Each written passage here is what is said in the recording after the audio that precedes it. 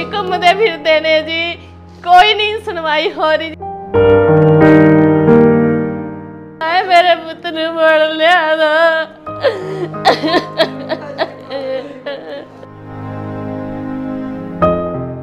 ਆਏ ਮੈਨੂੰ ਪ੍ਰਸ਼ਾਸਨ ਤੋਂ ਹਿਸਾਬ ਚਾਹੀਦਾ।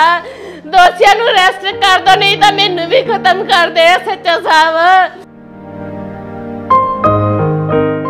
ਹੱਥਾਂ ਦੇ ਵਿੱਚ ਪੁੱਤ ਦੀ ਤਸਵੀਰ ਲੈ ਕੇ ਬੈਠੀ ਇਹ ਮਾਂ ਅੱਜ ਪੁਲਿਸ ਪ੍ਰਸ਼ਾਸਨ ਦੇ ਕੋਲ ਇਨਸਾਫ ਦੀ ਗੁਹਾਰ ਲਗਾ ਰਹੀ ਹੈ। ਦੱਸ ਦਈਏ ਕਿ ਇਸ ਦੇ 24 ਸਾਲਾ ਪੁੱਤ ਦਾ ਇੱਕ ਔਰਤ ਅਤੇ ਵਿਅਕਤੀ ਦੇ ਵੱਲੋਂ ਮਿਲ ਕੇ ਬੇਰਹਿਮੀ ਦੇ ਨਾਲ ਕਤਲ ਕਰ ਦਿੱਤਾ ਗਿਆ। ਅਜਿਹੇ ਇਲਜ਼ਾਮ ਜੋ ਨੇ, ਉਹ ਲਗਾਏ ਜਾ ਰਹੇ ਨੇ। ਤਾਂ ਦੱਸਦੀ ਦਈਏ ਕਿ ਹੁਣ ਇਸ ਪਰਿਵਾਰ ਦੇ ਵੱਲੋਂ ਪੁਲਿਸ ਨੂੰ ਵੀ ਸ਼ਿਕਾਇਤ ਦਰਜ ਕਰਵਾਈ ਗਈ ਹੈ, ਜਿਸ ਤੋਂ ਬਾਅਦ ਹੁਣ ਪਰਿਵਾਰ ਦਾ ਕਹਿਣਾ ਹੈ ਕਿ ਪੁਲਿਸ ਵੀ ਕੋਈ ਕਾਰਵਾਈ ਕਰਦੀ ਨਜ਼ਰ ਨਹੀਂ ਆ ਰਹੀ। ਤਾਂ ਮਾਮਲਾ ਸੰਗਰੂਰ ਤੋਂ ਸਾਹਮਣੇ ਆਇਆ, ਜਿੱਥੇ ਕਿ 26 ਮਾਰਚ ਨੂੰ ਇੱਕ ਔਰਤ ਅਤੇ ਵਿਅਕਤੀ ਇੱਕ ਲੜਕੇ ਨੂੰ ਆਪਣੇ ਨਾਲ ਗੱਲਾਂ ਦੇ ਵਿੱਚ ਲਾ ਕੇ ਲੈ ਜਾਂਦੇ ਨੇ। ਤੇ ਜਦੋਂ ਕਾਫੀ ਟਾਈਮ ਬਾਅਦ ਉਹ ਲੜਕਾ ਆਪਣੇ ਘਰ ਵਾਪਸ ਨਹੀਂ ਆਉਂਦਾ, ਤਾਂ ਪਰਿਵਾਰਕ ਮੈਂਬਰਾਂ ਦੇ ਵੱਲੋਂ ਉਸ ਦੀ ਭਾਲ ਕੀਤੀ ਜਾਂਦੀ ਹੈ ਤੇ ਕਿਹਾ ਜਾ ਰਿਹਾ ਹੈ ਕਿ ਸ਼ਮਸ਼ਾਨ ਘਾਟ ਦੇ ਇੱਕ ਬੈਂਚ ਦੇ ਉੱਤੇ ਉਹ ਬੱਚਾ ਜੋ ਹੈ ਬੇਸੁੱਧ ਹਾਲਤ ਦੇ ਵਿੱਚ ਮਿਲਦਾ ਜਿਸ ਤੋਂ ਬਾਅਦ ਕਿਹਾ ਜਾ ਰਿਹਾ ਕਿ ਉਸ ਨੂੰ ਜਦੋਂ ਹਸਪਤਾਲ ਲਿਜਾਇਆ ਜਾਂਦਾ ਤਾਂ ਉੱਥੇ ਉਸ ਨੂੰ ਡਾਕਟਰ ਮ੍ਰਿਤਕ ਐਲਾਨ ਦਿੰਦੇ ਨੇ। ਤਾਂ ਇਸ ਘਟਨਾ ਤੋਂ ਬਾਅਦ ਜਿੱਥੇ ਪਰਿਵਾਰਕ ਮੈਂਬਰਾਂ ਦੇ ਵੱਲੋਂ ਪੁਲਿਸ ਨੂੰ ਸ਼ਿਕਾਇਤ ਦਿੱਤੀ ਗਈ ਸੀ। ਉੱਥੇ ਇੱਕ ਔਰਤ ਅਤੇ ਵਿਅਕਤੀ ਦੇ ਉੱਤੇ ਪਰਿਵਾਰਕ ਮੈਂਬਰਾਂ ਦੇ ਵੱਲੋਂ ਕਤਲ ਦੇ ਇਲਜ਼ਾਮ ਲਗਾਏ ਗਏ ਸੀ। ਪਰ ਹੁਣ ਇਸ ਪਰਿਵਾਰ ਦਾ ਕਹਿਣਾ ਹੈ ਕਿ ਡੇਢ ਮਹੀਨਾ ਬੀਤ ਜਾਣ ਤੋਂ ਬਾਅਦ ਵੀ ਪੁਲਿਸ ਦੇ ਵੱਲੋਂ ਉਹਨਾਂ ਨੂੰ ਗ੍ਰਿਫਤਾਰ ਨਹੀਂ ਕੀਤਾ ਗਿਆ। ਇੱਥੋਂ ਤੱਕ ਕਿ ਪੁਲਿਸ ਦੇ ਵੱਲੋਂ ਕੋਈ ਵੀ ਕਾਰਵਾਈ ਅਮਲ 'ਚ ਨਹੀਂ ਲਿਆਂਦੀ ਗਈ। ਤਾਂ ਅਜਿਹੇ ਇਲਜ਼ਾਮ ਜੋ ਨੇ, ਹੁਣ ਇਸ ਪਰਿਵਾਰ ਦੇ ਵੱਲੋਂ ਲਗਾਏ ਗਏ ਨੇ। ਦੱਸਦੀ ਕਿ ਮਾਂ ਦਾ ਰੋ ਰੋ ਕੇ ਬੁਰਾ ਹਾਲ ਹੈ। ਪੂਰੇ ਪਰਿਵਾਰ ਦੇ ਵੱਲੋਂ ਹੁਣ ਪੁਲਿਸ ਪ੍ਰਸ਼ਾਸਨ ਦੇ ਕੋਲ ਇਨਸਾਫ ਦੀ ਗੁਹਾਰ ਲਗਾਈ ਜਾ ਰਹੀ ਹੈ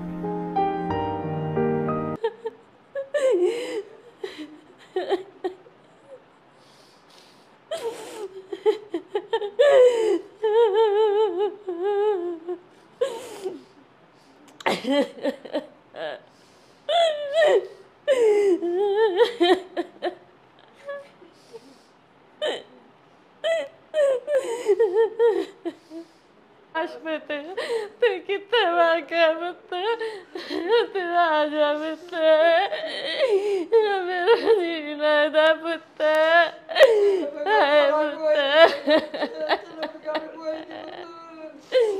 ਅੱਛਾ ਸੋ ਸਾਰ ਨਹੀਂ ਕਰ ਰਹੇ ਜੀ। ਆਈ ਸ਼ਰਿਆਮ ਦੋਸ਼ੀ ਘੁੰਮਦੇ ਫਿਰਦੇ ਨੇ ਜੀ। ਕੋਈ ਨਹੀਂ ਸੁਣਵਾਈ ਹੋ ਰਹੀ ਜੀ। ਐ ਬੈਠੇ ਨੇਗੇ ਆਰਾਮ ਨਾਲ। ਘਰਾਂ ਦੇ ਵਿੱਚ ਅਸੀਂ ਖੁਦ ਜਾ ਕੇ ਦੇਖ ਕੇ ਆ ਰਹੇ ਆ ਕਿ ਮੇਰਾ ਪੁੱਤ ਤਾਂ ਨੀਂਦ ਸਵਾ ਤਾਂ ਉਹਨਾਂ ਨੇ। ਉਹਨਾਂ ਦੀ ਕੋਈ ਸੁਣਵਾਈ ਨਹੀਂ ਕਰ ਰਹੇ ਜੀ। ਆਏ ਮੇਰੇ ਪੁੱਤ ਨੂੰ ਮੋੜ ਲਿਆ ਦੋ।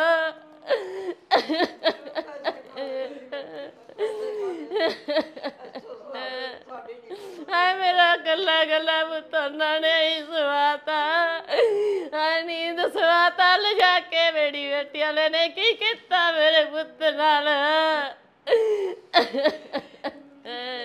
ਹਾਏ, ਮੈਨੂੰ ਪ੍ਰਸ਼ਾਸਨ ਤੋਂ ਇਨਸਾਫ ਚਾਹੀਦਾ। ਦੋਸ਼ੀਆਂ ਨੂੰ ਅਰੈਸਟ ਕਰ ਦੋ, ਨਹੀਂ ਤਾਂ ਮੈਨੂੰ ਵੀ ਖਤਮ ਕਰ ਦੇ ਸੱਚਾ ਸਾਹਿਬ।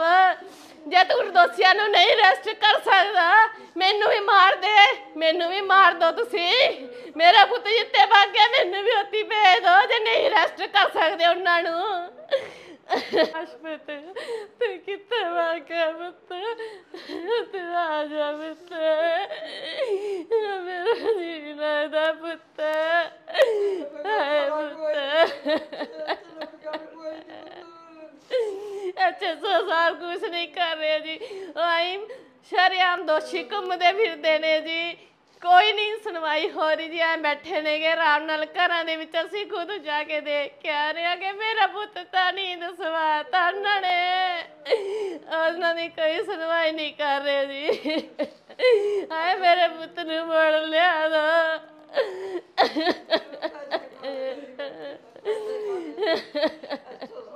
ਹਾਏ ਮੇਰਾ ਗੱਲਾ ਗੱਲਾ ਪੁੱਤ ਨੇ ਹੀ ਸਵਾਤਾ।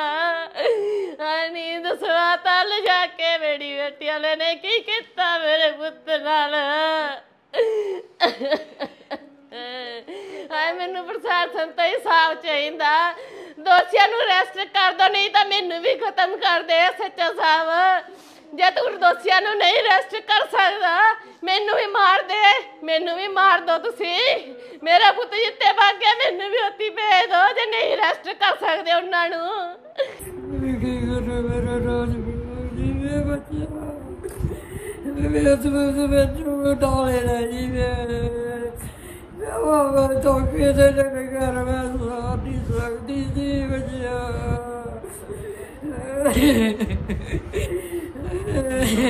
ਬੱਚੇ ਦਾ ਜੀ 26 ਤਰੀਕ ਨੂੰ ਕਤਲ ਕੀਤਾ ਗਿਆ ਜੀ। 27 ਤਰੀਕ ਨੂੰ ਜੀ ਐਸਐਸਓ ਸਾਹਿਬ ਨੇ ਪ੍ਰੈਸ਼ਰ ਚ ਲਿਆ ਕੇ ਜੀ ਪੋਸਟਮਾਰਟਮ ਕਰਵਾਤਾ ਜੀ। ਪੋਸਟਮਾਰਟਮ ਤੋਂ ਬਾਅਦ ਬੋਡੀ ਘਰੇ ਤੱਕ ਨਹੀਂ ਲਿਆਂਦੀ ਤੀ, ਉਹ ਤੇ ਜਦੋਂ ਸ਼ਮਸ਼ਾਨ ਘਾਟ ਲੈ ਗਈ। ਸ਼ਮਸ਼ਾਨ ਘਾਟ ਚ ਪ੍ਰੈਸ਼ਰ ਤੇ ਜੀ ਐਸਐਸਓ ਸਾਹਿਬ ਨੇ ਇਤਾਸ ਕਰਵਾ ਕਰਵਾਤਾ ਜੀ। ਕਹਿੰਦਾ, ਮੈਂ ਤੁਹਾਡਾ ਇਨਸਾਫ ਕਰਾਉਂਗਾ ਮੈਂ ਉਹਨਾਂ ਨੂੰ ਰੈਸਟ ਕਰਵਾਉਂਗਾ ਤੁਸੀਂ ਬੋਡੀ ਨੂੰ ਦਾਹ ਸੰਸਕਾਰ ਕਰਵਾਓ ਜੀ। ਅਸੀਂ ਐਸਐਸਓ ਸਾਹਿਬ ਦੇ ਕਹਿਣ ਤੇ ਦਾ ਸੰਸਕਾਰ ਕਰਤਾ ਜੀ। ਉਸ ਤੋਂ ਬਾਅਦ ਜੀ ਮੈਂ ਉਹਨਾਂ ਥਾਣੇ ਵਿੱਚ ਗਈ ਜੀ। ਥਾਣੇ ਵਿੱਚ ਐਸਐਚਓ ਸਾਹਿਬ ਕੋਈ ਜੀ ਸਾਡੀ ਸੁਣਵਾਈ ਨਹੀਂ ਕਰ ਰਹੇ ਜੀ। ਉਹਨਾਂ ਨੇ ਜੀ ਰਿਸ਼ਵਤ ਖਾ ਲਈ ਜੀ, ਸਾਰੀ ਮਿਲ ਲਈ ਭੁਗਤਾ ਜੀ, ਪ੍ਰਸ਼ਾਸਨ ਜੀ। ਸਾਡੀ ਕੋਈ ਸੁਣਵਾਈ ਨਹੀਂ ਕਰ ਰਹੀ ਜੀ, ਮੈਂ ਕੱਲੀ ਜਣੀ ਮੇਰਾ ਕੱਲਾ ਪੁੱਤਾ ਜੀ, ਉਹਨਾਂ ਨੇ ਮਾਰਤਾ ਜੀ।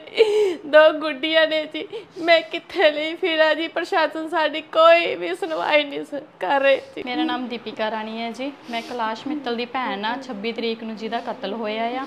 ਅਸੀਂ ਸਾਰਾ ਮਤਲਬ ਕਿ ਜਿਸ ਦਿਨ ਕਤਲ ਹੋਇਆ ਆ, ਪੁਲਿਸ ਨੂੰ ਤਲਾਕ ਕੀਤੀ ਆ। ਉਹਨਾਂ ਨੇ ਐਫ ਆਈ ਆਰ ਚ ਬਬਲੀ ਤੇ ਜਿੱਤੀ ਨਾਮ ਦੇ ਦੋ ਬੰਦਿਆਂ ਦਾ ਜਿੱਤੇ ਸਾਨੂੰ ਪੂਰਾ ਯਕੀਨ ਸੀ ਵੀ ਹਾਂ, ਸਾਡੇ ਕੋਲ ਸਾਰੇ ਸਬੂਤ ਨੇ, ਉਹਨਾਂ ਨੇ ਕਤਲ ਕੀਤਾ ਆ। ਉਸ ਤੋਂ ਬਾਅਦ ਵਿੱਚ ਪੁਲਿਸ ਪ੍ਰਸ਼ਾਸਨ ਨੇ ਸਾਨੂੰ ਇਹੀ ਗੱਲ ਦਿੱਤੀ ਹੈ, ਪਹਿਲਾਂ ਉਮੀਦ ਦਿੱਤੀ ਆ।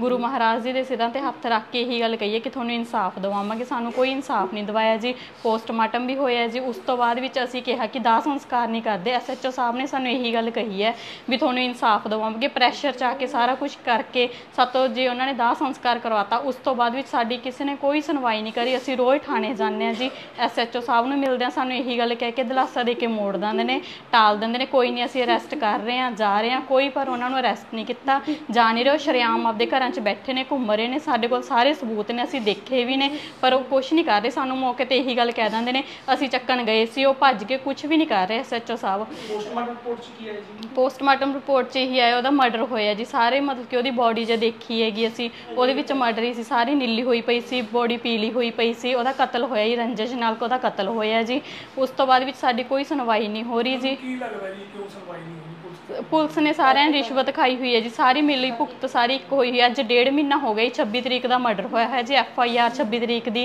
ਕੱਟੀ ਹੋਈ ਹੈ। ਅੱਜ ਡੇਢ ਮਹੀਨਾ ਹੋ ਗਿਆ ਜੀ। ਸਾਡੀ ਕੋਈ ਸੁਣਵਾਈ ਨਹੀਂ ਹੋ ਰਹੀ। ਐਸਐਚਓ ਸਾਹਿਬ ਹਾਂਜੀ ਅਸੀਂ ਡੇਲੀ ਜਾਂਦੇ ਹਾਂ ਜੀ। ਅਸੀਂ ਕੱਲ ਪਰਸੋਂ ਵੀ ਜਾ ਕੇ ਅਸੀਂ ਡੇਲੀ ਜਾਂਦੇ ਹਾਂ। ਕੁਝ ਵੀ ਸਾਡੀ ਸੁਣਵਾਈ ਨਹੀਂ। ਸਾਨੂੰ ਇਹੀ ਕਹਿ ਕੇ ਟਾਲ ਦਿੰਦੇ ਨੇ। ਕੋਈ ਗੱਲ ਨਹੀਂ ਅਸੀਂ ਅਰੈਸਟ ਕਰਦੇ ਹਾਂ। ਸਾਨੂੰ ਇਹ ਕਹਿ ਕੇ ਟਾਲਿਆ ਜਾਂਦਾ ਆ। ਹੁਣ ਤੁਸੀਂ ਕੀ ਮੰਗ ਕਰਦੇ? ਅਸੀਂ ਐਸਐਚਓ ਸਾਹਿਬ ਨੂੰ ਇਹੀ ਮੰਗ ਕਰਦੇ ਹਾਂ ਵੀ ਸਾਨੂੰ ਇਨਸਾਫ ਦਿਵਾਇਆ ਜਾਵੇ। ਉਹਨਾਂ ਨੂੰ ਅਰੈਸਟ ਕਿਉਂ ਨਹੀਂ ਕੀਤੇ? ਸਾਡੇ ਐਸਐਚਓ ਸਾਹਿਬ ਕੋਲ ਇਹੀ ਬਿਆਨ ਨੇ ਵੀ ਉਹਨਾਂ ਨੂੰ ਅਰੈਸਟ ਕਿਉਂ ਨਹੀਂ? ਸਾਨੂੰ ਸਵਾਲਾਂ ਦੇ ਜਵਾਬ ਦਿੱਤੇ ਜਾਣ। ਜੇ ਨਹੀਂ ਅਰੈਸਟ ਕਰਦੇ ਸਾਨੂੰ ਇਹੀ ਗੱਲ ਕਹਿ ਦੇਣ ਵੀ ਅਸੀਂ ਅਰੈਸਟ ਨਹੀਂ ਕਰਦੇ। ਜੋ ਕਾਨੂੰਨੀ ਕਾਰਵਾਈ ਸਾਡੇ ਕੋਲ ਧਰਨੇ ਹੋਣਗੇ ਅਸੀਂ ਉੱਪਰ ਜਾਵਾਂਗੇ ਸਾਰਾ ਕੁਝ ਕਰਾਂਗੇ ਸਾਨੂੰ ਐਸਐਚਓ ਸਾਹਿਬ ਇਹੀ ਗੱਲ ਕਹਿ ਦੇਣ ਵੀ ਅਸੀਂ ਕੁਝ ਨਹੀਂ ਕਰ ਸਕਦੇ ਜੀ। ਸਿਮਲਾ ਦੇਵੀ। ਕੀ ਲੱਗਦਾ ਜੀ ਕਲਾਸ ਮੇਰਾ ਦੋਤਾ ਸੀ ਜੀ ਕਲਾਸ ਹਾਂਜੀ। ਕਰਦੇ ਤੁਸੀਂ? ਮੰਗ ਮੈਂ ਕਹਿੰਦੀ, ਮੈਨੂੰ ਇਨਸਾਫ ਮਿਲਣਾ ਚਾਹੀਦਾ। ਮੈਨੂੰ ਇਨਸਾਫ ਦਿਓ ਮੈਂ ਜਾਨ ਉਹ ਮੈਂ ਕੁਛ ਨਹੀਂ ਮੰਗਦੀ, ਮੈਨੂੰ ਇਨਸਾਫ ਮਿਲੇ ਉਹ ਤਾਂ ਫਿਰਦੇ ਨੇ ਸਾਰੇ ਆ ਮੈਨੂੰ ਕੁਛ ਨਹੀਂ ਪੁੱਛਦੇ। ਆਏ ਕਾਰ 'ਚ ਫਿਰਦੇ ਨੇ ਮੌਜਣਾ ਘਰੇ ਬੈਠੇ ਨੇ, ਮੈਂ ਫਿਰਦੀ ਡਰਦੀ ਬਾਹਰ ਨਹੀਂ ਨਿਕਲਦੀ ਹਾਂਗੀ ਵੀ ਮੈਨੂੰ ਮਾਰ ਦੇਣਗੇ, ਮੇਰਾ ਕੋਈ ਨਹੀਂ ਹੈਗਾ, ਉਹੀ ਸੀ ਮੇਰਾ ਗਲਾਸ ਮੇਰੇ ਰਵੇ। ਮੇਰਾ ਕੋਈ ਨਹੀਂ ਅੱਗਾ ਨਾ ਪਿੱਛਾ ਮੇਰਾ। ਮੈਂ ਤਾਂ ਉਹਦੇ ਸਿਰ ਤੇ ਭੱਜੀ ਫਿਰਦੀ ਪੈਸੇ ਖਾ ਲਏ ਜੀ ਉਹਨਾਂ ਨੇ, ਸਾਰੇ ਆ ਪੈਸੇ ਖਾਦੇ ਨੇ। ਪੈਸੇ ਖਾਦੇ ਨੇ, ਬੜੇ ਸਾਲ ਉਹਨਾਂ ਥਾਣੇਦਾਰ ਨੇ। ਪੈਸੇ ਖਾਦੇ ਨੇ ਮੈਂ ਜਾਨੀ ਆ ਮੁੜਿਆ ਨਹੀਂ ਜਾਨੀ ਮੈਂ ਬਾਬਾ ਤਿੰਨ ਕੁੜੀ ਆ? ਮੈਂ ਆ ਕਿੱਥੇ ਜਾਵਾਂ? ਜਾਨੀ ਮੈਨੂੰ ਐਂ ਡਰ ਕਿਤੇ ਮਗਰ ਆ ਕੇ ਸਾਨੂੰ ਵੀ ਨਾ ਮਾਰ ਦੇਣਾ ਦਾ ਕੀ ਦੋਸ਼ੀਆਂ ਦਾ।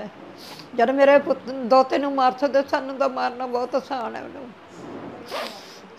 ਮੈਨੂੰ ਹਾਂਜੀ ਕੀ ਨਾਮ ਹੈ ਭੈਣ ਜੀ ਤੁਹਾਡਾ? ਜਸਵੀਰ ਕੌਰ ਜੀ। ਭੈਣ ਜੀ ਕੀ ਮਾਮਲਾ ਹੈ? ਇਹ ਮਾਮਲਾ ਹੈ ਜੀ ਬੱਚਾ ਇਹ ਗਿਆ ਸੀ ਘਰੋਂ ਜੀ। ਉਦੋਂ ਬਾਅਦ ਉੱਥੋਂ ਦੁਕਾਨ ਇਹਨਾਂ ਦਾ ਖੋਖਾ ਜਿਹੜਾ ਉੱਥੋਂ ਬੁਲਾਇਆ ਗਿਆ। ਇਹ ਸਾਡੇ ਕੋਲ ਬੇਬੀ ਆਈ, ਭੱਜੀ ਭੱਜੀ ਵੀ ਐਂ ਕਰਕੇ ਐਂ ਗੱਲ, ਵੀ ਮੁੰਡਾ ਹੈ ਨਹੀਂ ਉੱਥੇ। ਫਿਰ ਅਸੀਂ ਇਹਦੇ ਨਾਲ ਭੱਜੇ ਸਾਰੇ ਜਣੇ, ਇਹ ਉਧਰੋਂ ਲੱਭਿਆ, ਜਿਹੜਾ ਅਲਵਾਰ ਖਾਲਾ ਸੂਆ, ਉੱਥੇ ਕੋਈ ਸਿਵਾ ਸੁਬਾ ਉੱਥੇ ਬੈ- ਸੀਗਾ ਜੀ, ਮਰਿਆ ਪਿਆ ਸੀਗਾ। ਉੱਥੋਂ ਪ- ਪੋਸਟਮੈਨ ਨੂੰ ਚੱਕ ਕੇ ਲੈ ਕੇ ਗਏ ਜੀ। ਉਦੋਂ ਬਾਅਦ ਸਿੱਧਾ ਉੱਥੇ ਲਿਆਏ ਸਿਵਿਆਂ 'ਚ ਜੀ। ਜਦ ਸਿਵਿਆਂ 'ਚ ਲੈ ਆਏ ਤਾਂ ਚਲੋ ਐਸਐਚਓ ਮੈਨੂੰ ਖੁਦ ਕਹਿ ਰਿਹਾ, ਕਹਿੰਦਾ, ਬੀਬੀ, ਇਹਨਾਂ ਦਾ ਨਿਬੇੜੋ ਵੀ ਤੁਸੀਂ, ਮੈਂ ਤੁਹਾਨੂੰ, ਜਿਵੇਂ ਤੁਸੀਂ ਕਹੋਗੇ ਓਵੇਂ ਕਰੋ ਮੈਂ ਵੀ ਕਿਹਾ ਇਹਨਾਂ ਨੂੰ, ਮੈਂ ਕਿਹਾ, ਬੇਬੀ, ਤੂੰ ਐਡੇ ਵੱਡੇ ਅਫਸਰ ਦੀ ਮੰਨ ਲੈ। ਜੇ ਤੂੰ ਐਡੇ ਅਫਸਰ ਦੀ ਨਹੀਂ ਮੰਨਦੀ ਤਾਂ ਵੀ ਮਾੜੀ ਗੱਲ ਹੈ ਵੀ ਫੇਰ। ਚਲੋ ਜੀ ਇਹਨੇ ਵਿਚਾਰੀ ਨੇ ਮੰਨ ਲਈ। ਅਸੀਂ ਸਾਰਾ ਮਹੱਲਾ ਉੱਥੇ ਇਕੱਠਾ ਜੀ। ਫਿਰ ਉਦੋਂ ਬਾਅਦ ਜੀ ਅਸੀਂ ਕਦੇ ਕੋਈ ਕੁਝ ਕਹਿਦਾ ਕਦੇ ਕਦੇ ਕੋਈ ਕੁਝ ਕਹਿਦਾ ਕਦੇ ਮੈਂ ਕਿਹਾ, ਬੇਬੀ, ਤੂੰ ਐਸਐਚਓ ਦੀ ਮੰਨ। ਐਸਐਚਓ ਨੂੰ ਪੁੱਛ ਵੀ ਹਾਂ ਵੀ ਕਿਵੇਂ ਆ। ਫਿਰ ਅਸੀਂ ਪੁੱਛਿਆ ਜੀ। ਉਹ ਮੈਨੂੰ ਕਹਿੰਦਾ, ਬੀਬਾ ਨਵੇੜ ਤੂੰ ਇਹਨੂੰ ਸੰਸਕਾਰ ਕਰਾ। ਅਸੀਂ ਜਿਵੇਂ ਤੁਸੀਂ ਕਹੋਗੇ ਉਹ ਮੇਰਾ ਦੇਖੋ, ਅੱਜ ਡੇਢ ਮਹੀਨਾ ਹੋ ਗਿਆ ਬਿਲਕੁਲ ਨਹੀਂ। ਇਹ ਗਰੀਬ ਪਰਿਵਾਰ ਸੀ, ਉਹੀ ਕਮਾਉਂਦਾ ਸੀ, ਉਹੀ ਖਵਾਉਂਦਾ ਸੀ ਇਹਨਾਂ ਨੂੰ ਵੀ। ਹੁਣ ਤੁਸੀਂ ਐਂ ਦੱਸੋ ਵੀ ਵਿਚਾਰੀਆਂ ਦਾ ਇਹਨਾਂ ਦਾ ਕੀ ਹਿੱਲਾ ਗਰੀਬੀਆਂ ਦਾ? ਕੋਈ ਨਹੀਂ ਕਰਦੀ, ਕੋਈ ਵਾਰ ਨਹੀਂ। ਡੇਢ ਮਹੀਨਾ ਹੋ ਗਿਆ ਵਿਚਾਰੀਆਂ ਜਾ ਵਗ ਜਾਂਦੀਆਂ ਨੇ, ਆ ਜਾਂਦੀਆਂ ਬਾਹਰ। ਇਹਨਾਂ ਦੇ ਮੰਗਰ ਹੈ ਨਹੀਂ ਕੋਈ।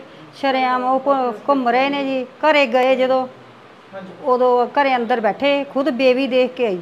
ਫਿਰ ਪੁਲਿਸ ਵਾਲਿਆਂ ਨੂੰ ਕਿਹਾ, ਪੁਲਿਸ ਵਾਲੇ ਕਹਿੰਦੇ, ਹਾਂ ਜੀ ਆਨੇ ਆ ਜੀ ਅੰਨੇ ਕਿਨੂੰ ਆਨੇ ਇੰਨੇ ਕਿਨੂੰ ਆਨੇ ਜੀ।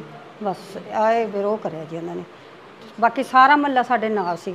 ਇਹਦੇ ਵਿੱਚ ਕੀ ਹੈ, ਇਹਦੇ 'ਚ ਕਲਾਸ਼ ਨਾਂ ਦੇ ਲੜਕੇ ਦੀ ਮੌਤ ਹੋਈ ਸੀ, ਜਿਹਦੇ ਸੰਬੰਧੀ 43 ਨੰਬਰ ਮੁਕੱਦਮਾ 26/3/2024 ਅੰਡਰ ਸੈਕਸ਼ਨ 304 34 ਆਈਪੀਸੀ ਦਰਜ ਰਜਿਸਟਰ ਕੀਤਾ ਗਿਆ ਸੀ, ਦੋ ਬੰਦਿਆਂ ਦੇ ਖਿਲਾਫ, ਬਬਲੀ ਤੇ ਜੀਤੀ ਦੇ ਖਿਲਾਫ।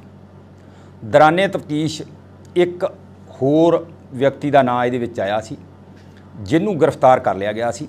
ਬਬਲੀ ਤੇ ਜੀਤੀ ਜਿਹੜੇ ਇਹਨਾਂ ਤੇ ਰੇਡ ਕੀਤੇ ਜਾ ਰਹੇ ਨੇ। ਪਰ ਇਹ ਘਰੋਂ ਫਰਾਰ ਨੇ। ਇਹਨਾਂ ਦੀਆਂ ਰਿਸ਼ਤੇਦਾਰੀਆਂ 'ਚ ਵੀ ਰੇਡ ਕੀਤੇ ਗਏ ਨੇ। ਜੋ ਘਰੇ ਨਹੀਂ ਮਿਲ ਰਹੇ। ਜਿਨ੍ਹਾਂ ਨੇ ਆਪਣੀਆਂ ਜ਼ਮਾਨਤਾਂ ਲਾਈਆਂ ਸੀ, ਜਿਨ੍ਹਾਂ ਦੀਆਂ ਜ਼ਮਾਨਤਾਂ ਮਾਨਯੋਗ ਅਦਾਲਤ ਸੈਸ਼ਨ ਜੱਜ ਸਾਹਿਬ ਤੋਂ ਡਿਸਮਿਸ ਕਰਵਾਈਆਂ ਜਾ ਚੁੱਕੀਆਂ ਨੇ ਤੇ ਰੇਡ ਕੀਤੇ ਜਾ ਰਹੇ ਨੇ। ਜਲਦੀ ਤੋਂ ਜਲਦੀ ਇਹਨਾਂ ਨੂੰ ਦੋਹਾਂ ਨੂੰ ਗ੍ਰਿਫਤਾਰ ਕਰਕੇ ਚਲਾਨ ਪੇਸ਼ ਅਦਾਲਤ ਕੀਤਾ ਜਾਵੇਗਾ।